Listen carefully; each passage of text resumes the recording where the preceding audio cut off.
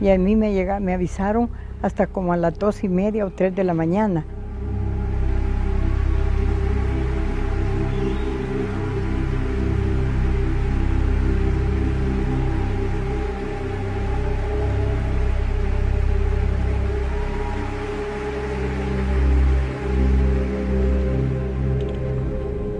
He pasado meses y meses que a la misma hora me despertaba sin poder volverme a dormir.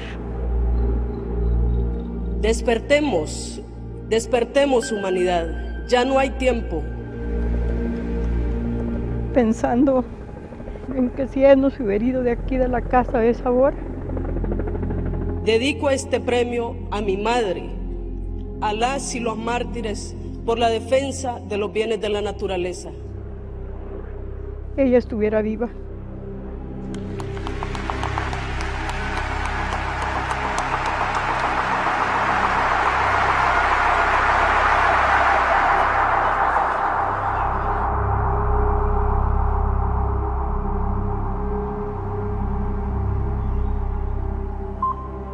Quiero decirle que yo nunca esperaba que mi hija fuera asesinada en esa forma tan, tan espantosa.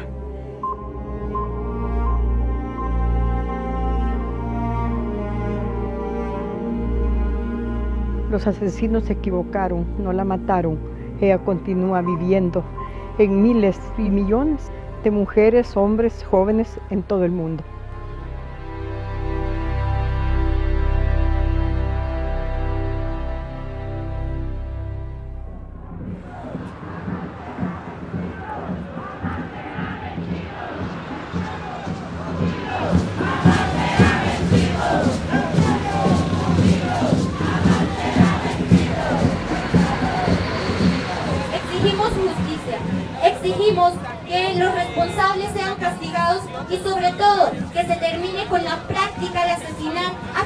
Quienes pensamos diferente. Porque Berta vive, el copín sigue. Berta Cáceres es un símbolo. Esclareciendo el caso de nuestra compañera Berta Cáceres, se puede esclarecer los demás de cientos y cientos de casos que han sido asesinados por defender la tierra, por defender la vida, por buscar un desarrollo de la población hondureña y del pueblo indígena.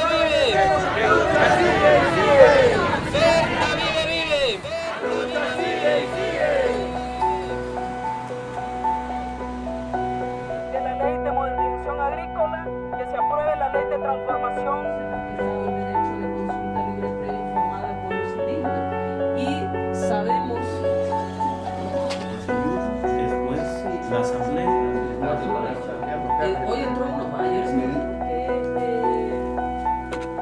está ejerciendo como presidente Juan Orlando ¿verdad? que hay ahora en este país.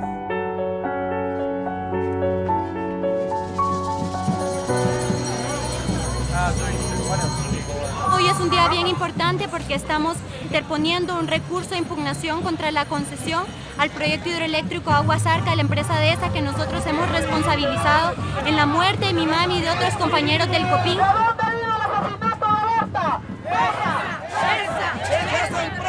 En primer lugar, yo quiero decir de que para mí Berta Cáceres fue, aparte de una compañera de lucha, mi hermana. Nuestros pueblos están ubicados en los últimos reductos de los, que, de los bienes comunes de la naturaleza que aún existen en el planeta. Nuestra lucha es para garantizar que podamos seguir coexistiendo en un país y en unos territorios donde nos pretenden desaparecer definitivamente de la tierra. Mi esperanza es que un día nos demos cuenta que ese es un autosuicidio colectivo que estamos haciendo y que tenemos que pararlo. Como decía Berta, que despertemos.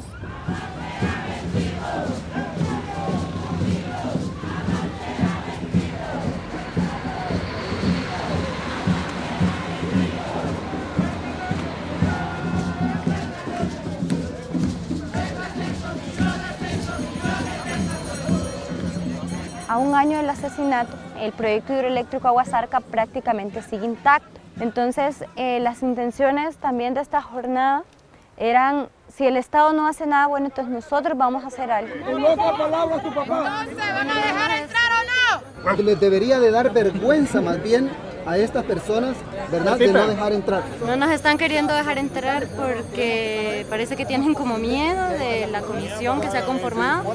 Esperamos que en algún momento nos dejen entrar porque es un derecho de la población hondureña acceder a la Corte Suprema. Este país se les olvida toda la vida quiénes son los verdaderos dueños de este país. El proceso de exigir justicia en todos los sentidos que nosotros consideramos es un proceso sanador que no solo es doloroso enfrentar un asesinato violento, un asesinato de odio, sino que también es más doloroso aún enfrentar todo el sistema de impunidad que nos hace sentir que a veces que fue en vano. Con permiso, me puede.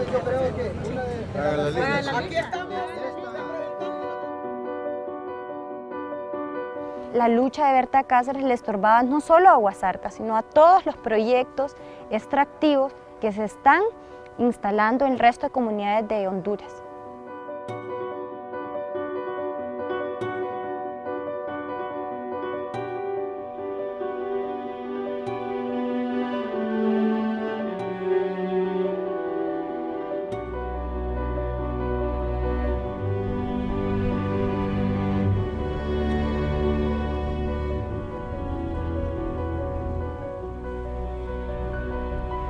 Esto aquí donde estamos en San José, todo esto que es de aquí, San José. Entonces, em, esta es una concesión a 30 años a una represa.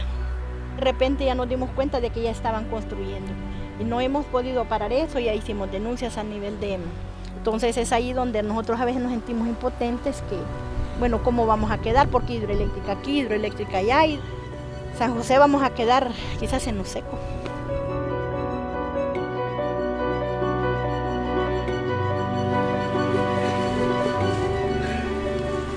Este río. Y aquí eran bosques. Los compañeros decían que el río se había secado, pero yo no me imaginaba ver así. De acuerdo a los convenios, tenía que dejar un tanto por ciento de agua para que los seres vivos que habían ahí, pues, siguieran existiendo, pero imaginé que puede vivir ahí en esas piedras secas ahora.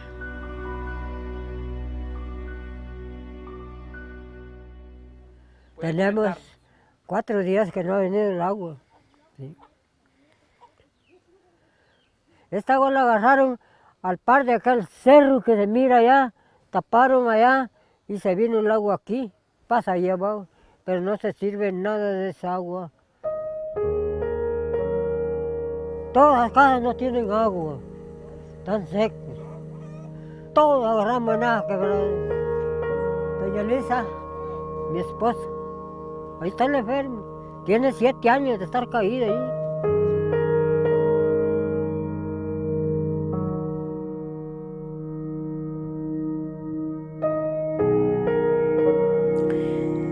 Yo pienso en mi futura generación. Yo viví eso de tan bonito de ir al río, meter la mano en un hoyo debajo de una piedra y hallar el montón de pescados allí, allí debajo. Y ahora quizás mis nietos, mis bisnietos no van a, no van a tener esa, esa, ese privilegio que yo tuve. Entonces por eso luchamos, para concesionarse nuestro territorio, para cualquier proyecto se nos tendría que consultar de acuerdo al convenio. No se está haciendo.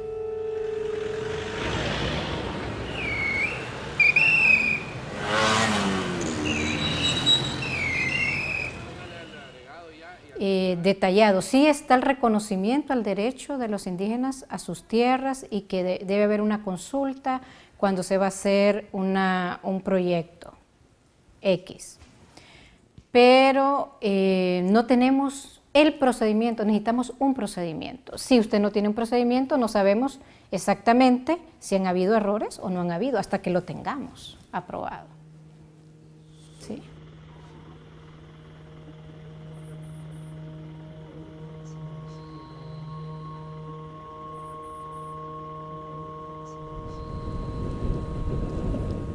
Gladys Aurora López.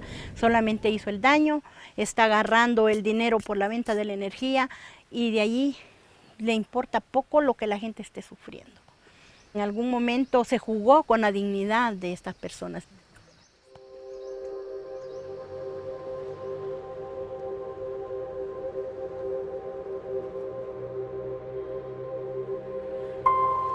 Somos una misión absolutamente independiente del gobierno. Los fondos con los cuales operamos son fondos provenientes de la comunidad internacional. Ninguna dependencia con ninguna agencia del Estado de Honduras. Enfáticamente. Creo que la corrupción como una enfermedad que ha venido a quedarse en las Américas, en el caso que usted comenta, la señora Gladys Aurora López, y consideramos que se trata de un tema muy interesante desde la perspectiva de investigación. No le puedo decir más porque, digamos, nuestro trabajo en esta área es reservado, pero desde el inicio que llegó la misión consideró que todo el sistema vinculado a concesiones son sensibles a la corrupción, motivo por el cual la misión está, digamos, actuando en esta materia. No se trata de debilitar el sistema de inversiones, se trata más bien de hacerlo más fuerte a efectos de que venga inversión que viene con estándares ambientales limpios, con cumplimiento y respeto a las comunidades, con el pago de impuestos, con la serie de estándares que normalmente en los países tiene que darse. El daño a la corrupción en un país como Honduras, con los altísimos niveles de pobreza que tiene, 60%, eh, realmente es criminal.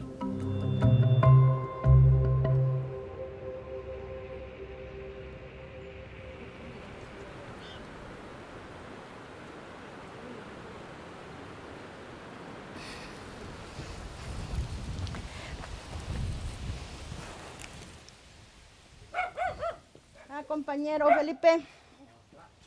Ah, mujer. Pues sí, nosotros no estamos de acuerdo a que se haga esa hidroeléctrica ahí, aquí en Santa Elena. Estuvieron un tiempo ahí poniendo una tapada para que no, para que no pasen pues los carros. Ya ellos no pudieron hacer nada. La organización de Milpa ganó, pero hacen un montón de acusos, les han hecho los dirigentes pues. Y mi esposo también, como él trabaja con la organización de Milpa, él es el coordinador. Una manera de sacarlos de circulación en Honduras es que los matan o los acusan de terrorismo, que aquí hay una ley antiterrorista. O le hacen un cateo y le meten armas y drogas y ya los meten preso y ya los han acusado de guerrilleros, usurpadores, agitadores. ¿Quién no los han acusado? Entonces, eh, terriblemente hemos sido perseguidos, criminalizados por las redes sociales, no solo por el Estado, sino la iglesia, sí nos ha visto muy mal. Yo no puedo ir a la parroquia porque no me recibe. Pues sí, como Felipe anda con, los derechos humanos, le, han, prohibido que, no se confíe pues, con los hijos y con la familia cuando tienen los hijos grandes, ya uno piensa que los hijos les va a pasar a saber qué allá por un tiempo. Los amenazaron que los iban a venir a sacar de noche para matarlos, sí. Sí, es una luz, sí. Esa vez andaban cinco y le abrieron el falso y con Felipe no salió afuera. Y yo ese temor sí tengo, que los pueden sacar así como lo, a la final abierta lo hicieron. Pues todo tiene que dejar bien empuñadas las ventanas, las puertas, todo. O se, no es que tengo un problema de salud yo de los huesos, no puedo caminar, las manos también. Se le mete en la mente a uno como más, se, se enferma más uno pues. No resiste uno ya tanto.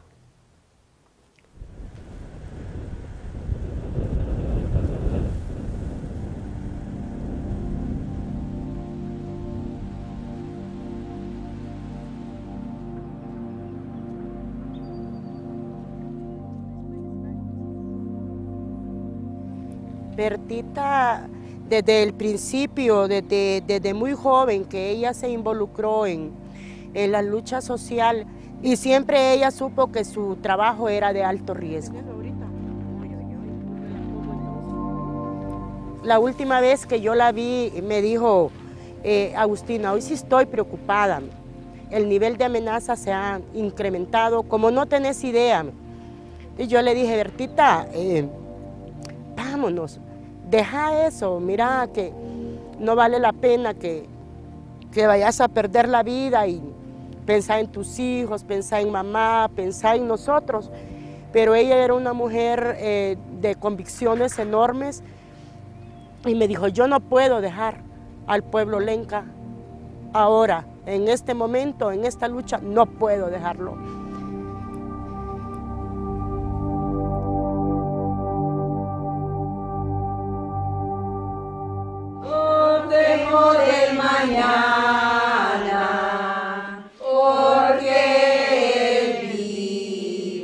Así como asesinaron a Bertita, han asesinado a muchísimas mujeres. No recuerdo el número de los últimos, pero me parece que llega como a 120. Desde luego que es un riesgo, pero si no se hace este sacrificio, entonces será imposible poder lograr que se detenga la destrucción del país.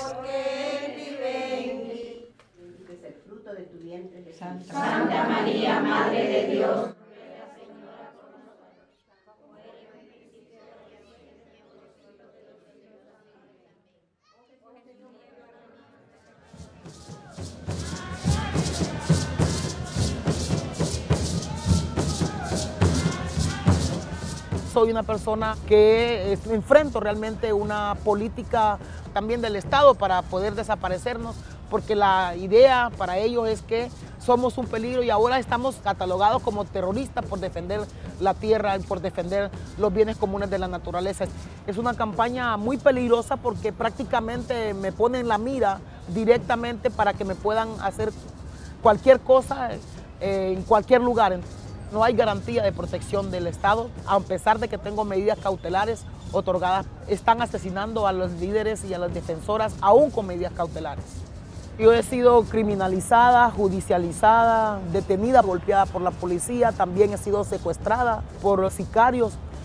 Puedo decir que también hay miedo, pero el miedo no nos debe paralizar para no seguir luchando. Los problemas se presentan tal vez en, ambas vías. La persona a la que queremos proteger nos dice, no quiero escolta, porque desconfían en la policía, tal vez, puede ser. Que no desconfíen que no desconfíen de, nuestras autoridades porque es, comprensible que, pueda presentarse esta situación de por alguna razón, pero el beneficiario debería aceptar todo esto que nosotros le estamos ofreciendo para garantizar su, su vida, ¿verdad? Esa es mi opinión. Tenemos seguridad que nos brinda el gobierno, pero pronto que podamos tener una seguridad propia, fundamentalmente porque se está realizando una limpieza en la policía muy grande. La fuerza policial en Honduras es de 16.000 policías y se ha depurado a 2.500 policías. Y esos son los mismos policías que dan resguardo a la misión. Si existe algún riesgo a la vida o integridad de la gente que participe en la misión, yo le diría que sí, pero si algunos sectores del país quieren que nos vayamos, seguramente son aquellos sectores que están incómodos por lo que estamos haciendo.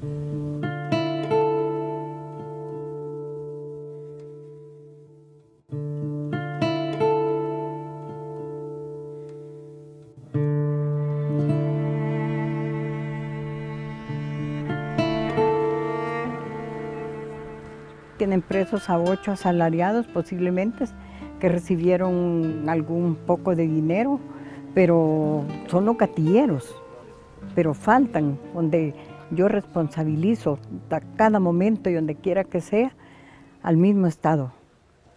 Por eso al Estado no le interesa o no le conviene dar captura a los verdaderos responsables. Pues, como decía un compañero ahí, la compañera, su cuerpo ahí está que no se criminalice a los defensores de derechos humanos indígenas, ambientalistas, entre otros.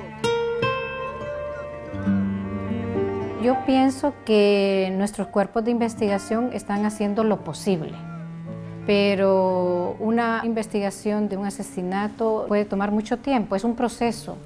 Tienes que tener un poco de paciencia, creo yo, en este caso. Vuelvo a repetir que mientras no se capturen a los que mandaron, a los que pagaron, no, no es para nosotros, no es justicia.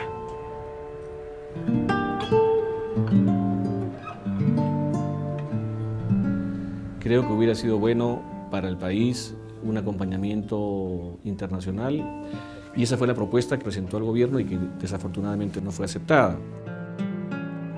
Creo que todo el mundo, no solamente Honduras, sino que todo el mundo espera saber quién mató a Berta Cáceres. ¡Berta vive! ¡La lucha sigue! ¡Berta vive! Mientras exista la impunidad, mientras no se ataquen las causas estructurales que generaron su asesinato, va a continuar esa amenaza latente para muchas otras personas como ha sido.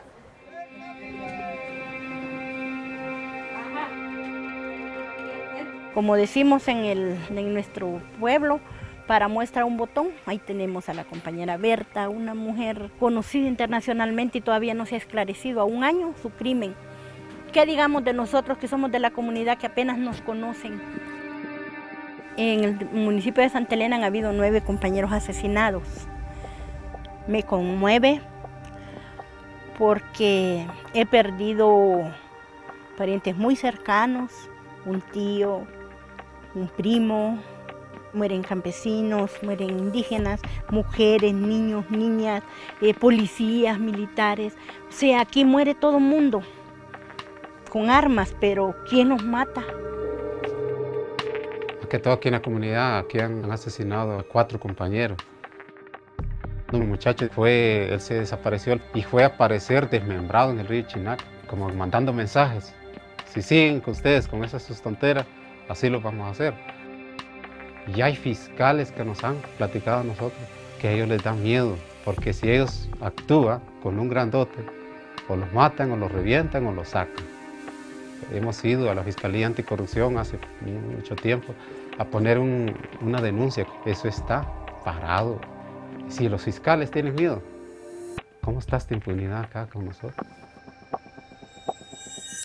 Vemos que eh, hemos tenido muchos problemas ahorita, con grandes intereses, eh, hasta muertos tenemos, y queremos, tenemos que tratar de evitar que esto se siga presentando en el país. No conviene, no conviene al país, al Estado, a nadie, a nadie le conviene. A veces nos preguntan a nosotros, ¿y qué va a pasar en Honduras? Con estos niveles de corrupción e impunidad que la gente salió a gritarlos a las calles. Interesante. Em, yo vengo de Perú. En mi país nunca un general de la Fuerza Armada, un ministro o un diputado había pisado una prisión. El resultado de investigaciones fue que un presidente todo su entorno terminó finalmente criminalizado por enormes delitos de corrupción que se cometieron. Aquí se ha dado ya un momento en donde la gente ha dicho basta. Creyeron ellos que como Berta era la que movía a nivel nacional el movimiento indígena, creyeron que matándola a ella nos íbamos a quedar de brazos cruzados, que no íbamos a hacer nada. Pero hemos arreciado en conocimientos, a cada uno de nuestros compañeros y compañeras. Entonces nosotros hemos arreciado la lucha, no tenemos miedo, de todas maneras siempre nos vamos a morir, pero por una lucha justa. Creo que en este país es impensable vivir sin miedo. Siempre lo digo que no es el sentimiento que prima en nosotras.